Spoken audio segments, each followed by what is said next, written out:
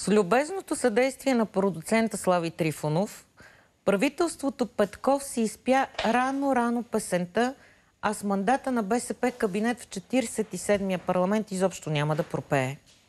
Лявата лидерка гордо поела папката врата към преговори, вярваше да стори чудо с подреждане на пъзел от несъвместими парчетии.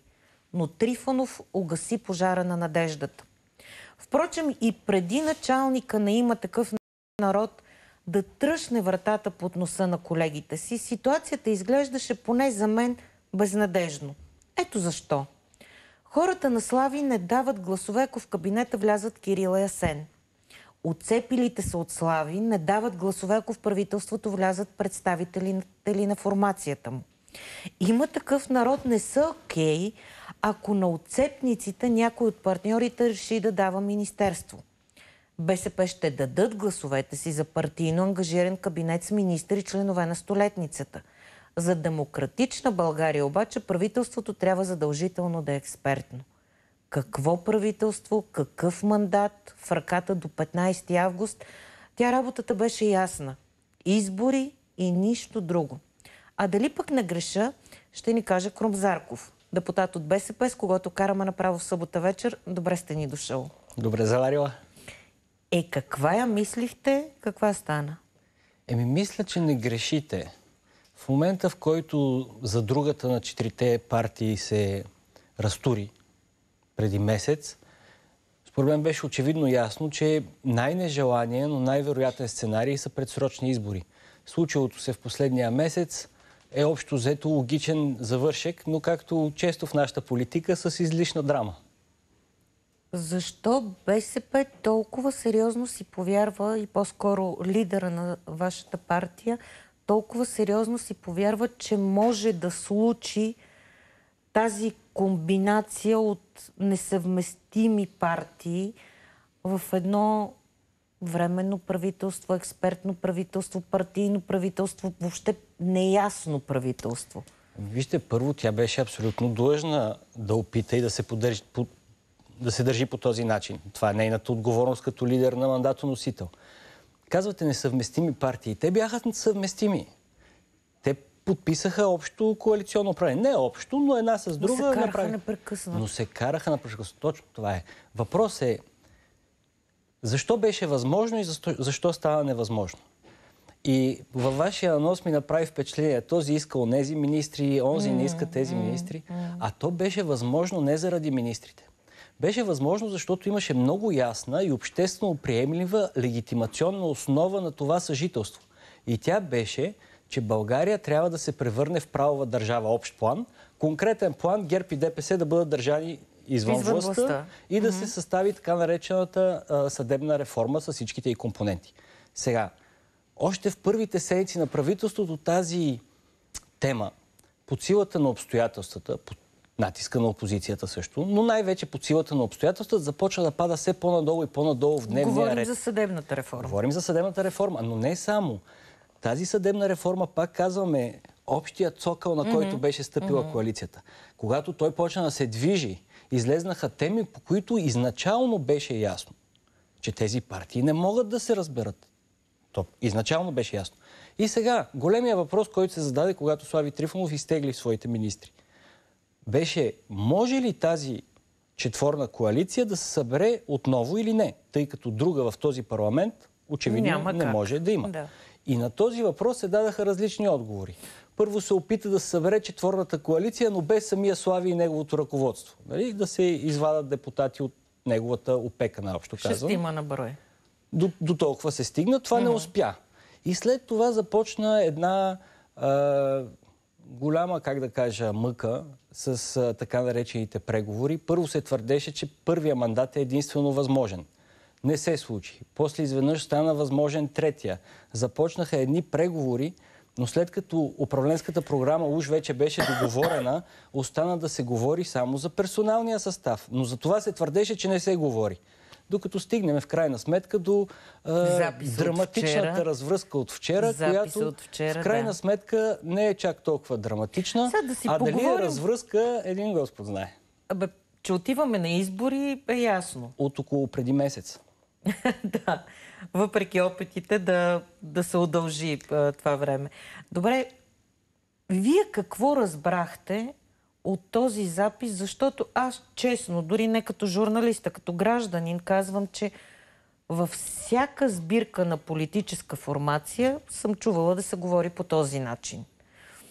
И не виждам нищо съществено, обидно за която и да от страните в преговорите извън Демократична България, което да беше изречено от Христо Иванов, че да се стигне до... Ле, Сега, примерно, за мен е важно да коментирате как разбирате думите на Иванов. Корнелия го играе, че иска да има правителство. Това беше интересна реплика за мен. В записа наистина няма нищо скандално. Христо Иванов докладва на групата си, така както всеки трябва да прави, неговите усилия и какво се случва на тези преговори. Но не е очудваща а, и реакцията на Слави Трифонов. Защо? Защото той беше посочен с пръст няколко пъти. И аз тогава си позволих да кажа, макар че не споделям неговите действия, че тези тежки думи, соченото соченето с пръст и викането ти си мафия, след като единственият възможен изход, за да няма избори, са по Е, някакъв да начин пак на да бъде преговорите, да. не е много дълновидно. И сега, когато той чува а, този запис, от който о, си представя, че може в крайна сметка да изобличи лицемерието на тези, които го наричали мафия, които са повече други, не е самия Христо Иванов други. на истината. Значи, а, И за да бъдем коректни в разговора си, става въпрос за продължаваме промяната. И Христо Иванов цитира е, техните думи по адрес на неговата формация, че били меки китки, а пък сега сядали и те с мафиота Трифонов. Отново ще кажа, в записа не намирам нищо скандално. А, сега ще тръгнат най-различни конспирации, как се е появил, откъде се е появил и така нататък, което намирам без абсолютно значение. Че той е на сайта на Но ми парламента. прави впечатление и съм длъжен да го кажа, ми прави впечатление а, разликата по който партньорите се отнасят един с, с, с друг спрямо ситуацията, което ме кара да мисля, че наистина няма да стигне спр... с- до споразумение. Спомнете си, когато има такъв народ, спечелиха изборите. Еми Така. как всички припкаха около тях? Нали? Те са същите. Нима Слави се е променил с нещо от тогава до днес. След това Итана станаха. Мафиоти, задколисни. Не, чуйте, след това станаха по-надолу. Само, че имаше нужда от тях за правителство. Аха, да.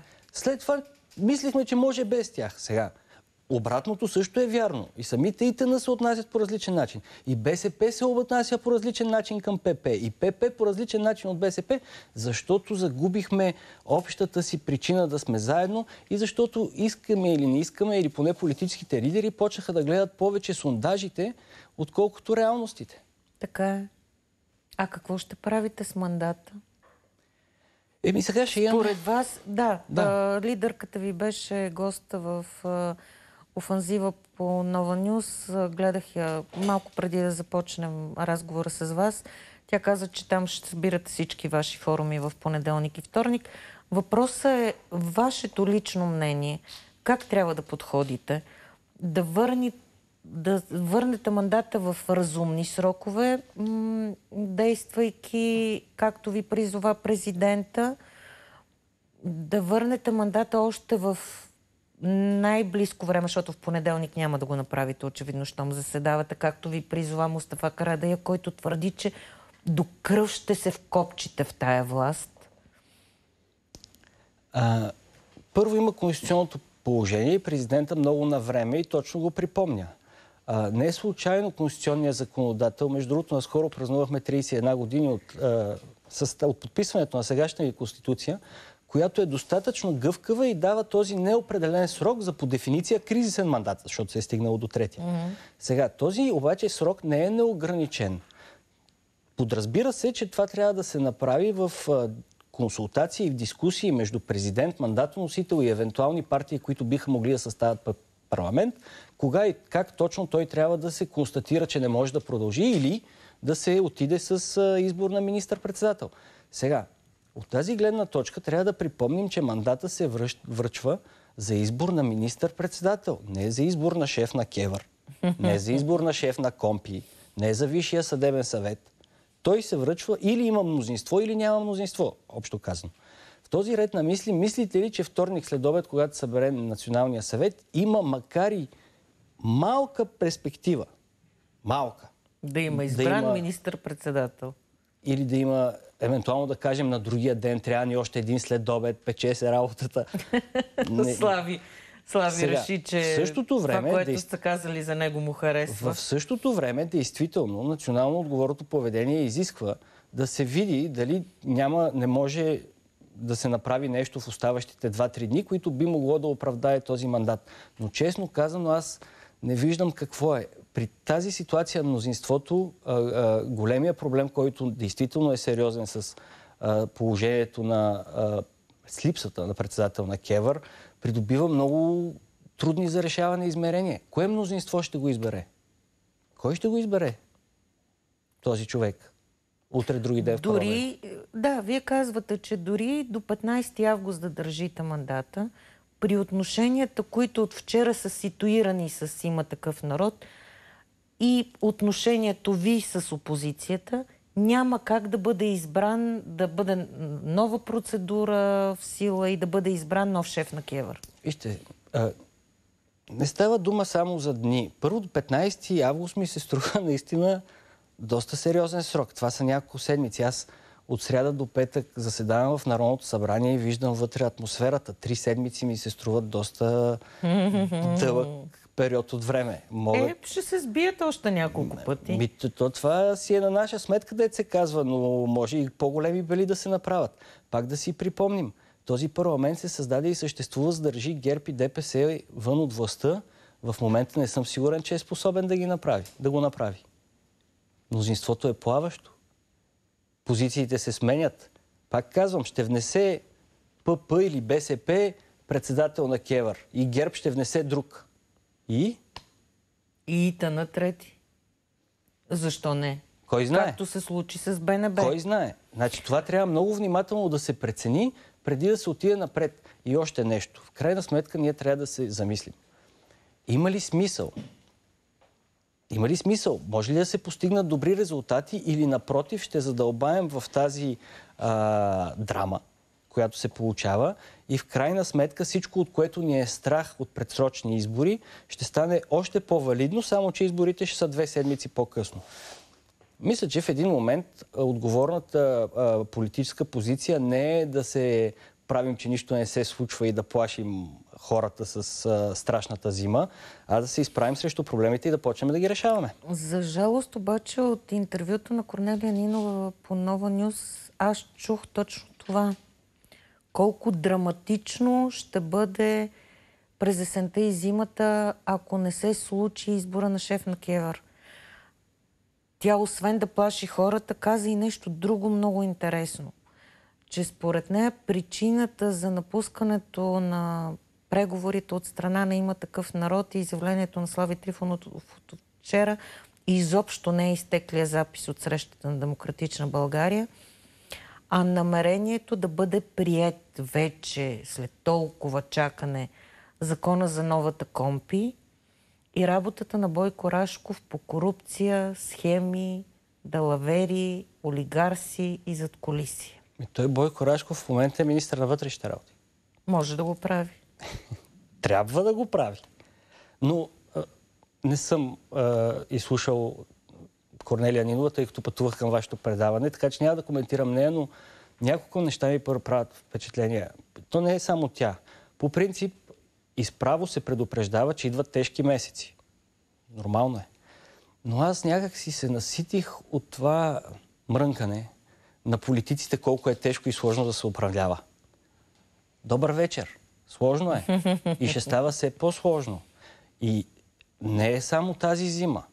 България, която и без това изоставаше, не по заради народа й, от останалите страни, ще бъде изправени пред много предизвикателства следващите години. Тези предизвикателства са свързани естествено с това, че има война пълномащабна на няколко стотин километра в нашата част на Европа.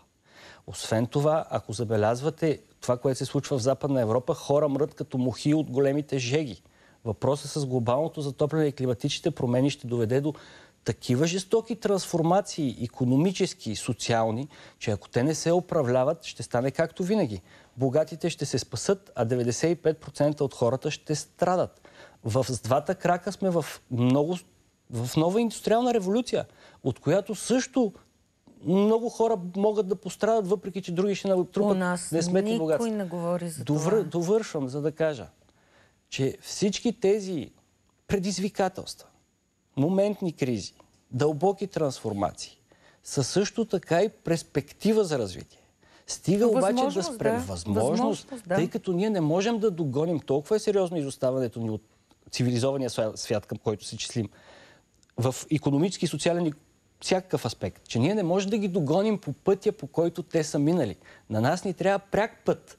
И това са възможности. Но тези възможности няма да се оползотворят с непрекъснатото мрънкане. Вижте, сега ще стане страшно какъв хаос. Идва се едно преди този хаос сме били подредени като аптекарски шишета. Прави са хората и политиците да предупреждават. Но вместо да плашат, са длъжни да дадат Решения. перспектива. Да, решения. Понеже ми дават има, знак, знаете че ни остават... А, да, да, има. Остават ни три минути, да ми се искаше да ви питам. Хората се чудят. Какво стана между БСП и президента? Че отношенията ви, говорихме за глобалното затопляне, замръзнаха на кота нула. се, да. За, за нещо, за което аз много съжалявам и не мога да идентифицирам точната причина, но много ясно идентифицирам последиците за БСП. От този конфликт пострада БСП, не Румен Радев. А защо предадохте четата по повод на а, хартиената бюлетина? Сега, Аз да съм предал четата. а вие станахте от трибуната и за разлика от всичките ваши другари, казахте, вижте, дами и господа, уважаеми колеги, аз няма да подкрепя връщането на хартията. Искам машината и това е.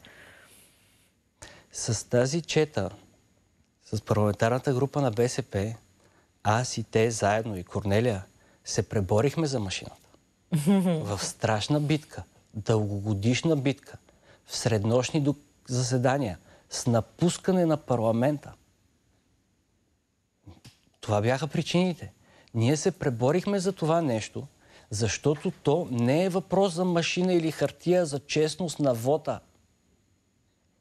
Аз не съм предал четата. А защо Аз я БСП се връща към тази тема Аз я сега? защитих. Защитихте онова, за което се борихте защитих толкова време. на четата постижението и я спасих от големия срам да обяснява защо се връща в компанията на ГЕРБ и ДПС А на защо тази го тема. направи според вас? Обяснението е, че... На а, хората им е трудно и че Обяснение... активността намалява Обяснение- заради страха от машините. На- Те са два, два аспекта. Обяснението, че на някои хора им е трудно, дори на един да му е трудно, заслужава специално внимание. Но това е работа на ЦИК и на партиите да го преодолее. Между другото, на хората им е било трудно, като минават от а, цветна към интегрална, Интегрална бюлетина. така е. Процесът се осложнява, то живота се осложнява, така че това не е аргумент, който с лека ръка пропускам. Просто мисля, че има друг начин да бъде решен. А другия за а, избирателната активност, а, машините може да са повлияли, но да се черпи само този аргумент, значи да се пропусне само COVID-кризата, факта, че имаше три поредни избори, четири, ако сключим президентските, и може би може да допуснем, че имаше известно а, разочарование от всички политически сили, които Не- не имаха просто два- известно. Не Така просто известно. Машината, струва ми се, тук може да има някакво влияние, но аз знам... Умората, Познавам умората имаше повече. Познавам най-добре електората на Българската социалистическа партия и знам, че когато той е мобилизиран и иска да подкрепи не машина, а нищо не може да го спре. Добре, благодаря ви за този разговор. Благодаря ви.